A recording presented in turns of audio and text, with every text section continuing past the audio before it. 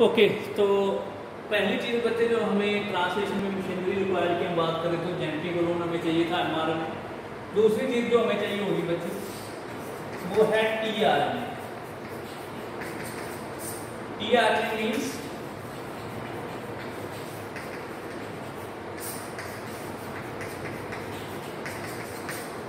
transfer आ रहे हैं तो ट्रांसफ़र आरएनए क्या करते हैं बच्चे? ये ट्रांसफ़र करता है अमाइनो एसिड्स को।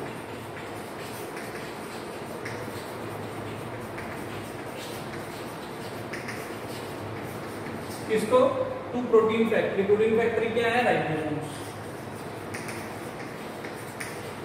जैसे बच्चे कपड़ा बनाने के लिए कॉटन जो है वो रॉ मटेरियल है। प्रोटीन बनाने के लिए अमाइनो एसिड्स क्या है? रॉ मटेरियल अमाइनो एसिड्स क्या बनाते हैं? प्रोटीन तो कपड़ा बनाने के लिए जो कॉटन है, उसको ट्रक पे लोड करके हम कॉटन फैक्ट्री में लेके जाते हैं। वैसे ही माइनो एसिड जो है, वो रॉ मटेरियल है प्रोटीन सिंथेसिस के लिए। तो अगर आपको प्रोटीन बनानी है तो माइनो एसिड को ट्रांसफ़र करना पड़ेगा। तो उसको ट्रांसफ़र करने का काम कौन आता है? टीआरएनए हर एक आर एन ए बच्चे सिंगल स्टैंडर्ड ही होता है। टीआरएनए जो है, ये भी सिंगल स्टैंडर्ड है। सिंगल स्टैंड होता है इसके पास भी।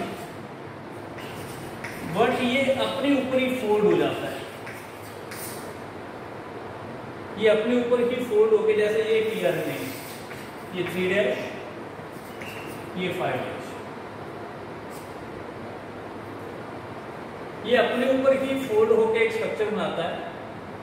उस स्ट्रक्चर को हम बोलते हैं clover leaf model of tRNA मतलब ये टीआरएनए अपनी सेकेंडरी स्ट्रक्चर जो है उसको प्रोड्यूस करता है।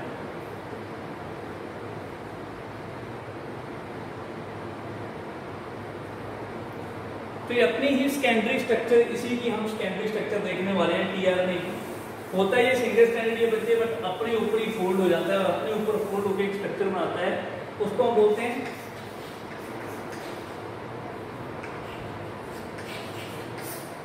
Clover leaf model of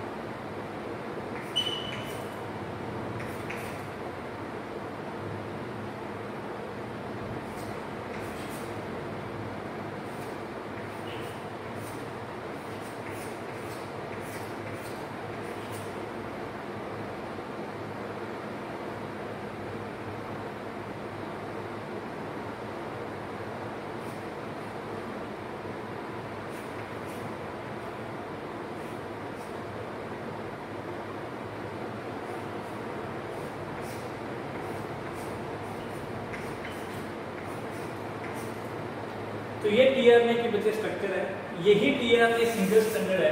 five dash three dash यही फोल्ड होके ये स्टेम और लूज लाइक स्ट्रक्चर बनता है। ये देखो इसका फाइव डैश एंड है, ये इसका क्या है? थ्री डैश एंड है। तो टीआरएनए एक ही है सिंगल स्टैंड है, अपने ऊपर ही फोल्ड होके कैसे स्टेम और लूप स्ट्रक्चर बनता है। Clover leaf model of tRNA के अंदर क्या आता है? Stem man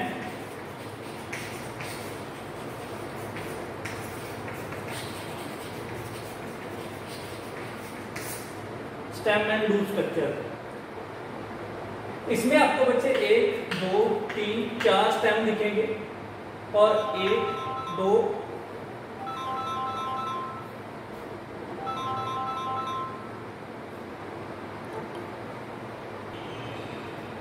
इसमें आपको बच्चे क्लोवर लीफ मॉडल के अंदर ये चार स्टेम दिखेंगे, एक, दो, तीन, चार। ये एक लूप है, इसको हम नाम देते हैं वेरिएबल लूप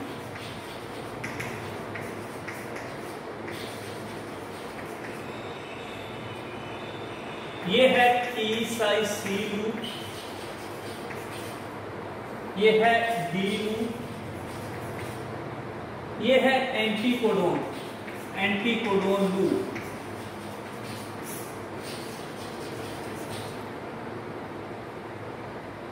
ये है एक्सेप्ट्रा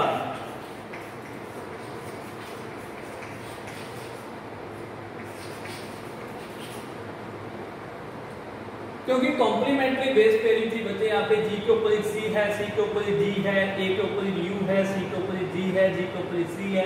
तभी ये जो सिंगल स्टैंडर्ड आरएनए है टीआरएनए अपने ऊपर ही फोल्ड होके अपनी ही सेकेंडरी स्ट्रक्चर बनाता है, जिसको हम नाम देते हैं क्लोवर लीफ मॉडल और इसमें आपको डिफरेंट डिफरेंट लूप्स और स्टेम नज़र आ रहे हैं। ये लूप इसमें सबसे इंपॉर्टेंट है एंटीकोडोन लास्ट क्लास में हमने डिस्कस किया था जेंटिकोडोन कोडोन। कोडोन किसके ऊपर होता है जी? एमआरएनए के ऊपर।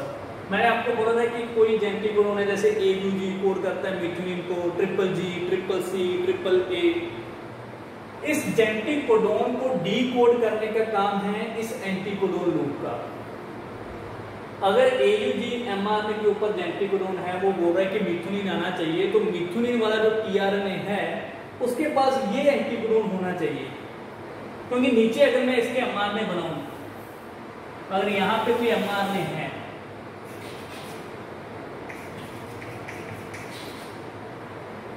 फाइव डैश इधर उसका थ्री डैश एंड इधर तो उस पर फाइव डैश एंड पे ए यू जी अगर ये वाला जेंटिकोडोन है तो उसको यही टी आर्म का एक्सेप्टर आर्म या एंटीकोडोन आर्म जो है, वो उसको डिकोड कर सकती है। ए यू जी इस डायरेक्शन में एम आर ने हमारा five dash to three dash direction में है। अगर आपका एम आर ने फाइव डैश से थ्री डैश डायरेक्शन में है तो टी आर ने को उधर थ्री डैश एंड होना चाहिए। अगर मैं एम आर ने इधर से फाइव डैश थ्री डैश बनाता तो मैं टी आर ने को ऐसे कर देता ट्विस्ट कर देता, ताकि उसका थ्री डैश एंड इधर आ जाता। अगर मैं इसको ऐसे करूँगा तो थ्री डैश एंड इधर आ जाता, अगर मैं इधर फाइव डैश एंड बनाता एम आर ने का।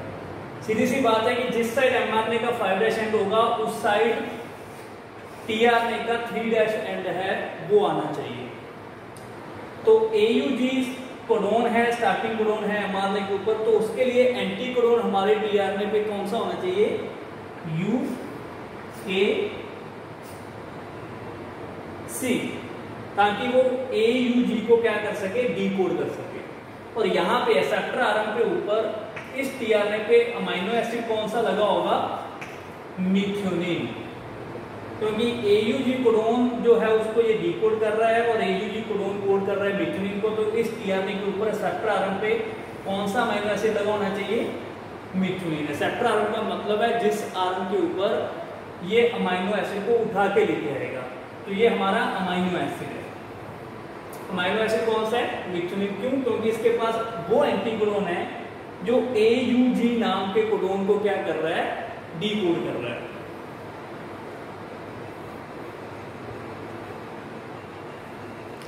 तो मतलब हर एक टीआर में जो है, उसके पास अलग एंटीकोडोन होगा।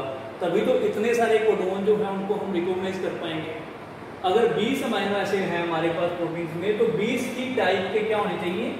टीआरएनए ताकि हर अमाइनो एसिड को ये टीआरएनए उठा के ला सके। और सबसे इंपॉर्टेंट चीज़ है, इस एंटीकोडोन लूप का, इस कोडोन को डीकोड करना। और एक कंप्लीमेंट्री बेस के बेस के ऊपर टिका हुआ है। ये क्या है? कॉम्प्लीमेंट्री बेस पेयरिंग एमआरएनए का ये फ़र्स्ट कोडोन है, ये सेकंड है थर्ड है. टीआरएनए का ये फ़र्स्ट है, ये सेकंड है, ये थर्ड है. एमआरएनए के केस में ये फ़र्स्ट है, ये सेकंड है, ये थर्ड है. तो दोनों एक दूसरे के उल्टा आते हैं ये. एंटी पैरल जिसको आप बोलते हो उस तरीके से आते हैं. क्यों? क्योंकि अगर इसका फाइव डैश इधर है तो इस एम आर के इधर थ्री डैश है. इसके इधर थ्री डैश है तो एम आर के इधर फाइव डैश है. तो हम आगे चल के भी देखेंगे कि कैसे एक एक करके टी आर आएगा और इसको क्या करेगा? एंटीकोडोन को डीकोड करेगा। नॉर्मली बच्चे टी आर है, चाहे कोई भी आर उसमें गुआनिन साइटोसिन एडेनिन यूरासिन नाम के बेस होते हैं बट यहाँ पे एक अलग बेस आपको देखने को नज़र आ रहा है जो नॉर्मली हमें आरएनए के अंदर देखने को नहीं मिलता डी लिखा हुआ है मैंने। डी जो बेस है, ये एक मॉडिफाइड बेस है, इसको हम बोलते हैं डाईहाइड्रोयूरासिन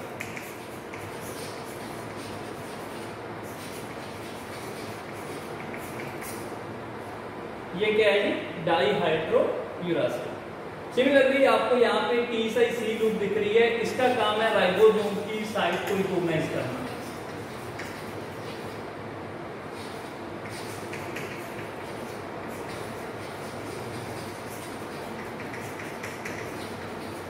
राइबोसोमल साइट रिकॉग्निशन का काम है टी साई सी लूप का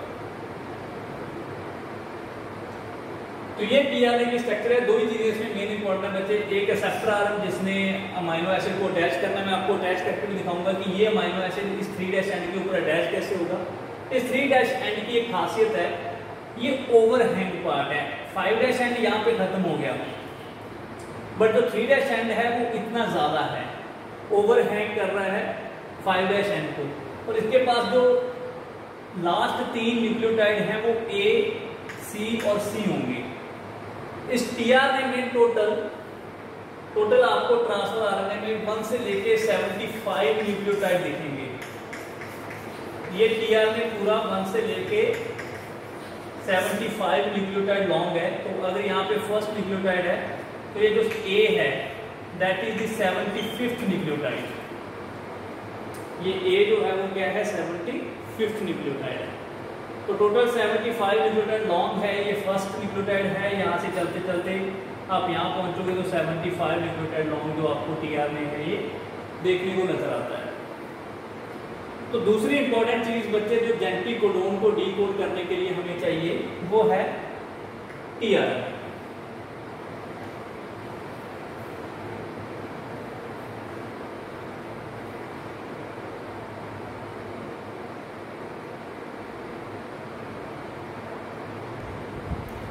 सो नेक्स्ट चीज़ जो बच्चे हमें ट्रांसलेशन में चाहिए होगी, वो है ribosomes ribosomes are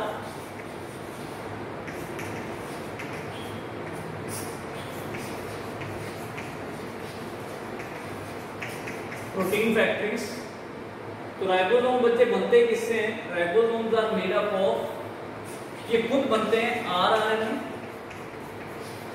that is ribosomal R N A plus some proteins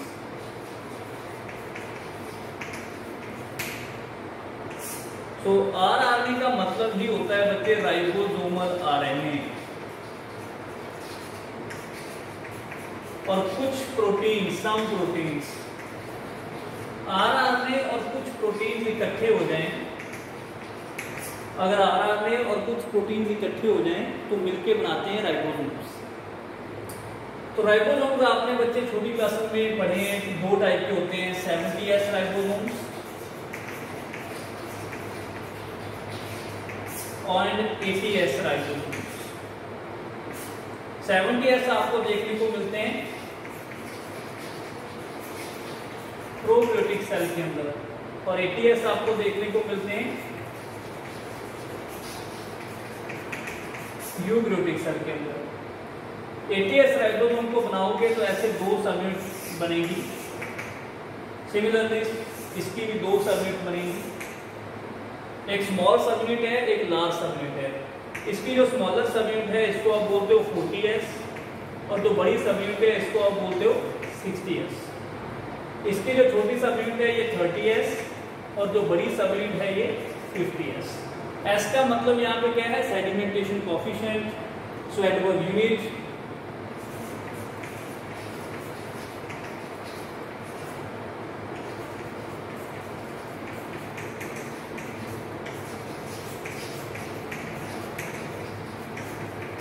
sedimentation coefficient है स्वैगोगिलिटी है, इसका मतलब होता है कि कोई चीज़ कितने सेडिमेंट पे नीचे सेटल हो गई है।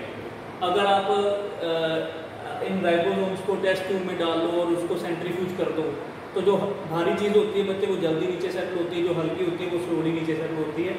तो हर एक चीज़ का नीचे सेटल होने का एक सेडिमेंटेशन रेट होता है।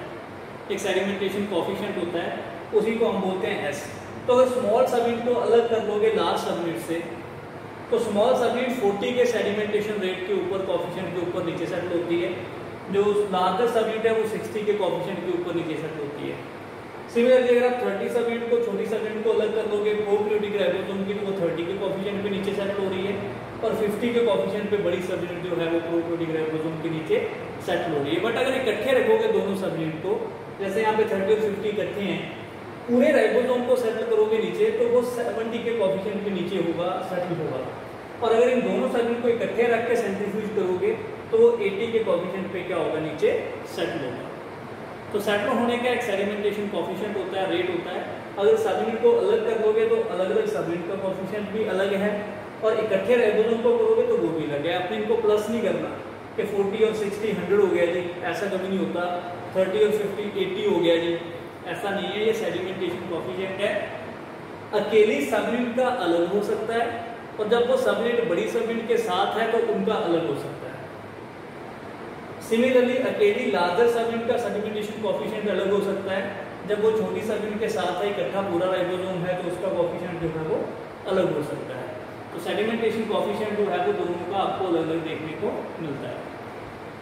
बात अगर हम करें बच्चे राइबोसोमल आरएनए की, कि आरआरएनए इस इन राइबोसोम में कौन कौन सा देखने को मिलता है? प्रोक्रियोटिक में आपको चार टाइप का तीन टाइप का आरएनए देखने को मिलेगा।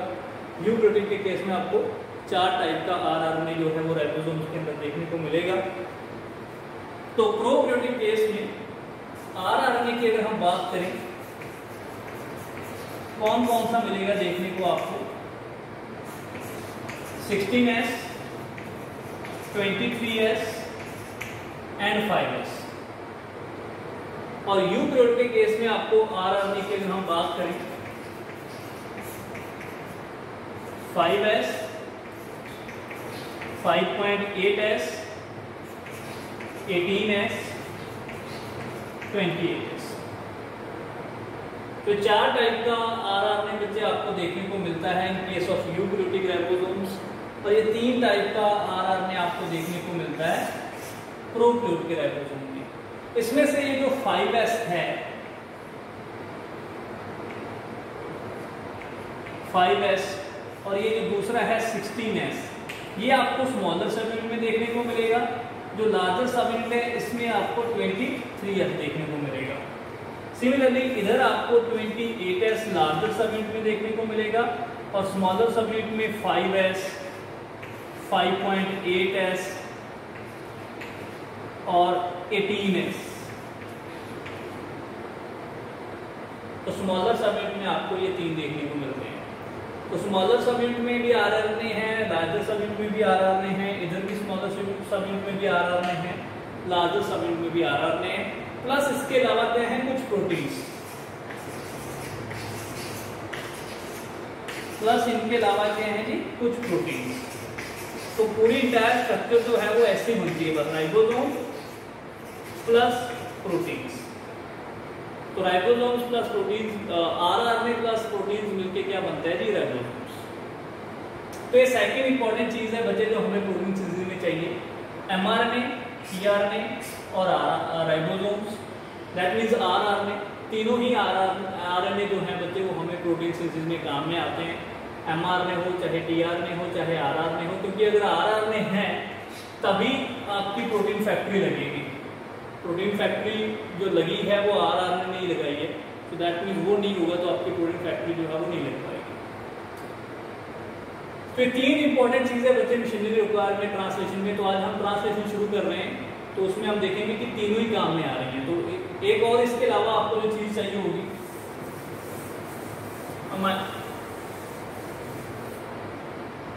एक एंजाइम हमें चाहिए होगा बच्चे। अमाइनो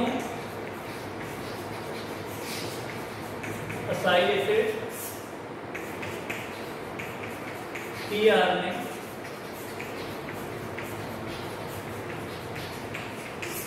सिंथेटेज नाम का एंजाइम जो एंजाइम हमें चाहिए होगा अमाइनो एसिड को टीआरएनए के ऊपर ट्रांसफ़र करने के लिए। मैंने आपको जैसे मिथुनी लगा के दिखाया था ट्रांसफ़र आरएनए के ऊपर हमने मिथुनी लगाया था। तो मिथुनिन ट्रांसफ़र आरएनए पे कैसे गया जब कोई भी अमाइनो एसिड ट्रांसफ़र टीआरएनए के ऊपर कैसे लगेगा? वो इस एंजाइम का काम है। तो हम देखेंगे चार्जिंग ऑफ़ टी टीआरएनए की कैसे होती है।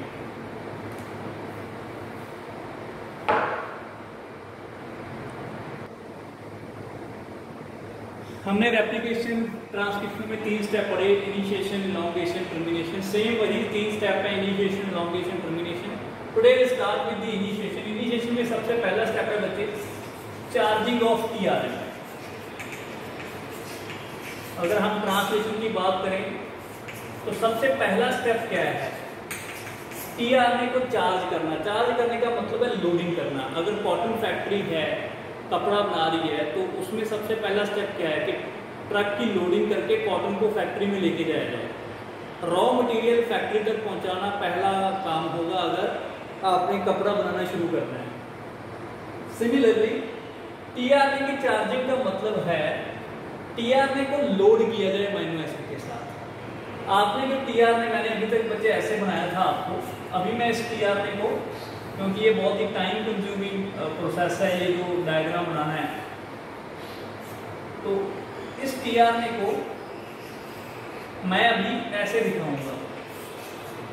सिंपली सिंपली हम टी को ऐसे दिखाएँगे, ये उसका थ्री डैश है ये फाइव डैश है बस। तो ये हमारा टी आर है बच्चों।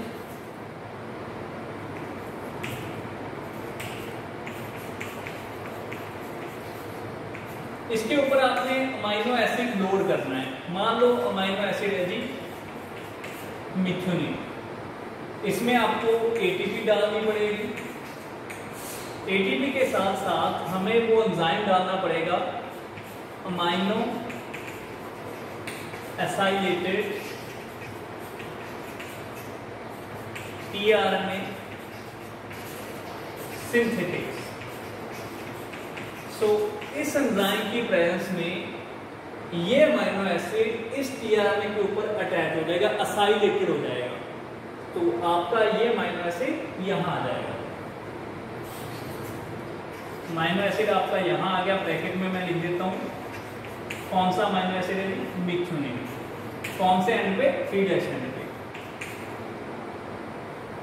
और यहाँ पे एंटीकोडोन क्या था इसमें? यूएस इस टीआरएनए का एंटीकोडोन क्या है यू ए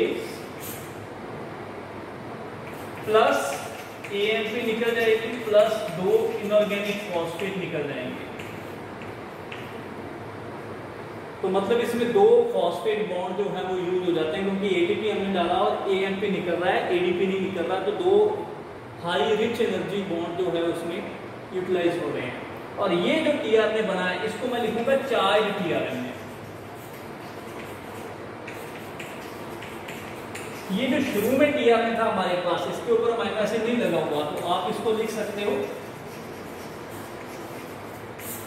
अनचार्ज टीआरएनए तो एक आपको यहाँ पे चार टीआरएनए दिख रहा है यहाँ पे उस पर आपको माइनो एसिड लगा मिलेगा थ्री डैश पे यहाँ पे अनचार्ज टीआरएनए तो सबसे पहला काम क्या होना है चार्जिंग ऑफ़ टीआरएनए मतलब ये है कि ये हमारा फाइव है।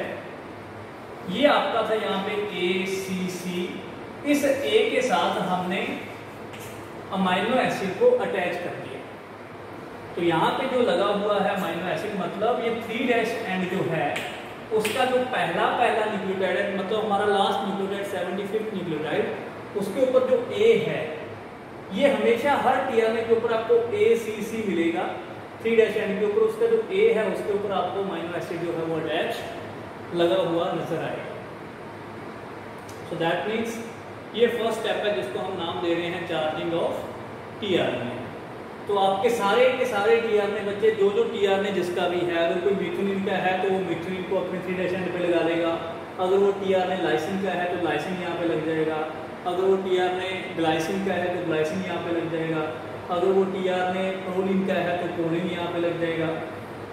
हर एक टी ने चार्ज हो जाएगा। मतलब ये है कि ग्लाइसिन वाले टी ने का एंटीक्रोन ट्रिपल सी होएगा। तो यहाँ पे ग्लाइसिन लग जाएगा। क्यों? क्योंकि ग्लाइसिन का कोड क्या है जी?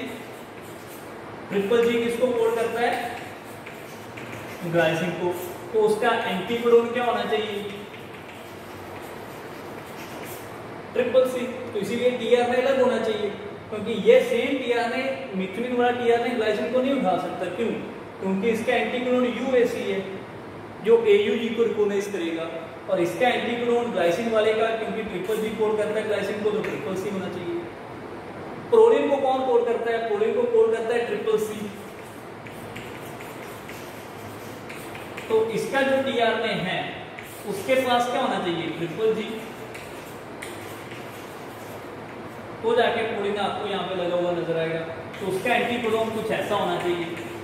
इसीलिए मैं बोल रहा हूँ, हर एक अमाइनो एसिड का अपना डीएनए होता है। क्यों? क्योंकि एंटीकोडोन अलग चाहिए हर अलग टाइप के कोडोन को रिकॉग्नाइज करने के लिए। तो सारे डीएनए इस तरीके से बच्चे, जो ग्लाइसिन वाला है, जो प्रोलिन वाला है, जो लाइसिन वाला है ट्रिपल ए वाला है, कोई भी है, वो सारे इसी तरीके से क्या हो जाएँगे? चार्ज हो जाएँगे। तो ये हमारा फ़र्स्ट स्टेप है इनिशिएशन और ट्रांसलेशन के अंदर, जिसको हम पहले नाम दे रहे हैं बच्चे charging of tRNA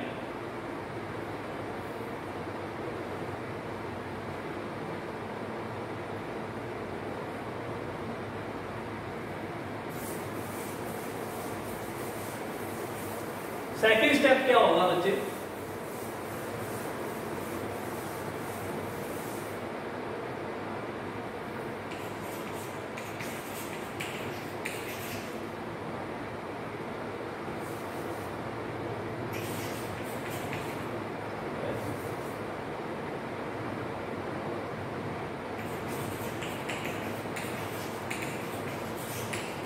of ribosomal subunits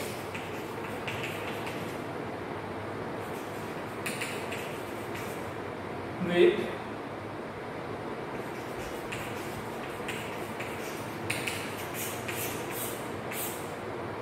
mRNA हमारा जो mRNA है बच्चे ये हमारा mRNA है ये उसका इनिशिएशन कोडोन है ये उसके बाद बाकी वाले कोडोन है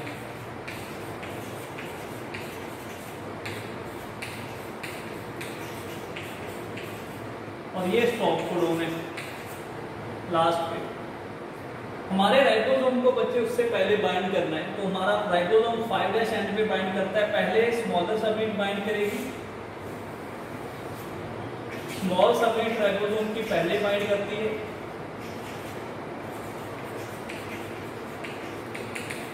और उसके बाद इसको रिकॉग्नाइज करेगी लार्ज सबयूनिट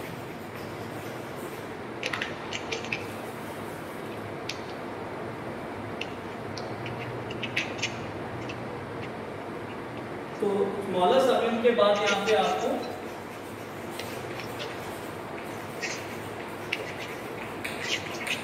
लास्ट सबयूनिट जो है वो अटैच होती हुई नज़र आएगी। तो पहले राइबोसोम की बचे स्मॉलर सबयूनिट इनिशिएशन कोडोन जो है हमारा उससे डाउनस्ट्रीम हमेशा इधर लगेगी और ये स्कैन करता करता पहुंचेगा आपकी इनिशिएशन कोडोन के ऊपर। तो ये हमारा एयूजी जो है दिस इज़ और इनिशिएशन कोडोन इनिशिएशन कोडोन का मतलब क्या होता है? यहाँ से ट्रांसलेशन को शुरू होना है। तो राइबोसोम चाहे इनिशिएशन कोडोन से बहुत इधर लगे, बहुत ज़्यादा डाउनस्ट्रीम लगे बट ये स्कैन करता करता इनिशिएशन कोडोन को ढूंढ ही लेगा। यहाँ पे इनिशिएशन कोडोन पड़ा होगा, वहीं से ट्रांसलेशन का जो प्रोसेस है, उसको क्या किया जाएगा? इनिशिएट किया जाएगा। इसके लिए राइबोसोम के पास बचे तीन साइट होती हैं। E site P site and E side इस राइबोसोम के पास तीन साइड है बच्चे E site P site and A site E site का मतलब क्या है? E is a exit site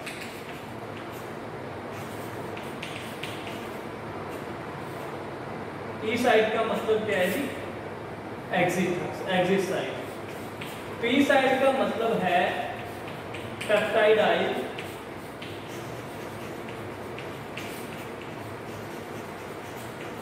transferase site P का मतलब है पेप्टाइडाइल ट्रांसफेरेज साइट ई का मतलब है एग्जिट एग्जिट साइट पी का मतलब है पेप्टाइडाइल ट्रांसफेज साइट और ए का मतलब है अमाइनोसाइलेटेड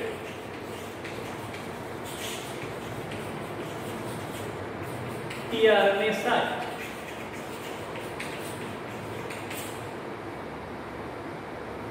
तो ए साइट वो साइट है बच्चे, यहाँ से टीआरएनए एंटर करेगा। कौन सा टीआरएनए एंटर करेगा? अमाइनोसाइलेटेड टीआरएनए अमाइनोसाइलेटेड टीआरएनए का मतलब है चार्ज टीआरएनए इसका मतलब क्या है?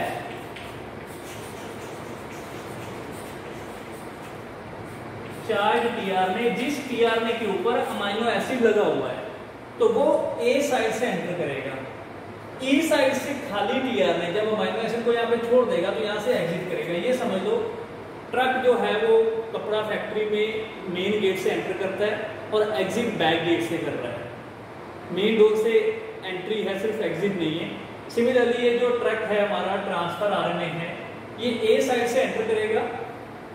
ई e साइड से खाली होके अनलोडिंग जब हो जाएगी तो ई e साइड से एग्जिट करेगा। पी साइड है बच्चे पेप्टाइडल ट्रांसफ़र साइड पहला जो टीआरएनए है, सिर्फ़ पहला टी आर टीआरएनए हमारा पी साइड से एंटर करेगा। उसके बाद जितने भी टीआरएनए आएँगे, वो हमेशा ए साइड से ही एंटर करेंगे। सिर्फ़ पहला टी आर टीआरएनए जब ट्रांसलेशन शुरू होनी है तो हम देखेंगे नेक्स्ट लेक्चर में देखेंगे हम। सिर्फ़ पहला टीआरएनए पी साइड से एंटर करता है।